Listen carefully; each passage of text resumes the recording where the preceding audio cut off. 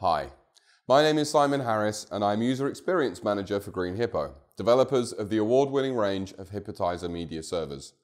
Today, I'd like to introduce you to Hippotizer version 4, launched to the world this year for use on live events. Four brand new hardware models available with different output configurations based on your price point. Not only that, but a brand new engine and a brand new interface giving you access to the most commonly used functions at the top, but also the ability to go in and create your own control interface. The home screen that you see here is the first thing that greets you when you start up the application. And the six buttons across the top, as I say, give you access to all the things you're most regularly going to be doing. Starting with the mixes, we can access multiple layers, across multiple mixes, across multiple servers. Using our HippoNet networking functionality, we can connect multiple servers together when required for use on larger shows.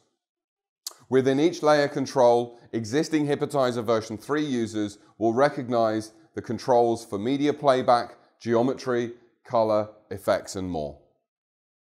Also, with the addition of cameras, generators, relays, and screen thief. I can easily switch between multiple layers on the system and control them like so. Next comes our viewports. In Hippotizer version 4, we natively support splitters. So when using an external splitting device, you can determine exactly what you want that output to do. Perhaps you want to spread a multiple output splitter across multiple projectors in the same way we could in version 3. However, in version 4, we have the added ability of being able to subdivide those outputs and give them their own set of layers. This allows the system to be far more functional, far more powerful at a much reduced cost. In your viewport window, you have access to color controls, effects, geometry, blending, and keystone all across multiple mixes, multiple viewports, and multiple systems. Next, I'd like to show you the visualizer, a very powerful feature built directly into the heart of Hippotizer version 4. Start by importing the most complex of models in many different file types. Or of course, also being able to go in and create your own visualization with no 3D models at all. In here, we have a very complex stage with video mapped to each of the screens within it. And using these presets, I can move around within the space to give you an accurate look at your show. Very important to understand that this is a full frame rate, full resolution preview. So it really gives you a fantastic idea of exactly how the video is going to look within your show environment. Not only can we create these presets, we can also go in and create our own animation. And in the future, you'll be able to export this animation as a video, send it off to your prospective client to show them your design. And next, we come to media management. Some subtle but very important changes to be found in Hippotizer version 4. Firstly, access to all of the servers on the network to stop you having to go in and out of menus in order to encode media and synchronize media between systems. In Hippotizer version 4, our media management looks across the network and allows you to access any of the servers and any of the folders within. I can view my media in thumbnails, a list view, or access my settings. Another welcome addition to the Hippotizer version 4 family is the option to choose between multiple codecs. Our existing MPEG-2 codec is still supported. However, we also now have three types of our own proprietary FlexRes codec. One aimed at performance for playing multiple layers of video content across multiple outputs if necessary. A high performance codec aimed at very, very high quality playback and the original FlexRes codec that we developed for massively high quality content with full alpha transparency support.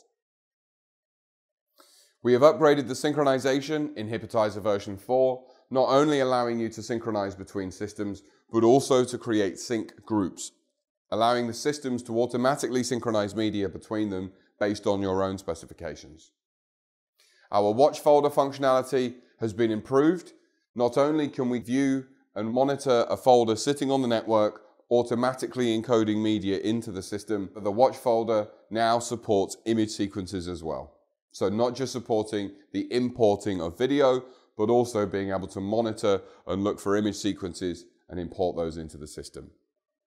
And finally, a brand new concept for Hippotizer version 4 is Strata. Being able to move your show quickly and easily between systems using the SSD drives on the front of the system. Output management is one of the most powerful features in the Hippotizer version 4 range. With numerous outputs on all of the systems and numerous splitters available with all, we now have much greater access over how the system is configured. We can create multiple mixes, each with multiple layers, and determine exactly where those mixes are going to be sent. In this example, I have one 4K mix being sent to the screens behind, but I have two further mixes not being connected to an output at all. And you saw me earlier using those inside the pre-visualization state. A very powerful feature of Hippotizer version 4 is the ability to choose whether your mix is being output to screen or only used internally in the system. You could also use this technique to pre-mix camera inputs coming into the software. You could even create your own local monitoring system for accessing those camera inputs. You really have to use the system to understand the benefits of Output Manager. So please take up the opportunity and have a go with the system as soon as you can. Finally, configuration. And again, we want to improve the workflow for all of the Hippotizer technicians out there in the world using our systems. Especially when it comes to setting up a network of multiple servers going in and out of menus can be a very frustrating use of time. So to make the workflow more efficient, you now have access to all of the servers down the left-hand side and all of the settings inside, allowing me to quickly move between servers and between different settings sections and get my network of servers up and running exactly based on my requirements.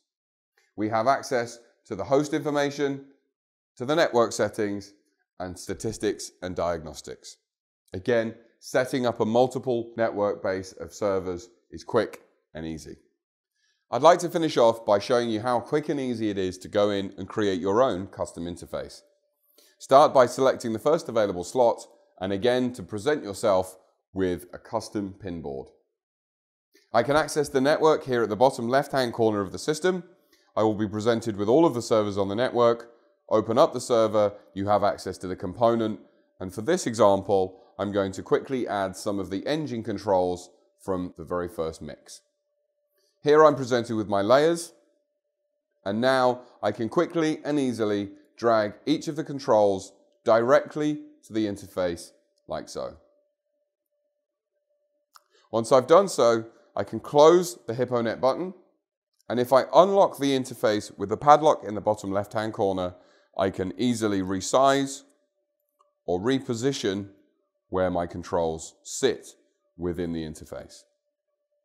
When I'm happy with my design, simply lock the interface again, and when you return to the home screen, a snapshot of the interface will be created so you can always remember exactly which interface control you have created.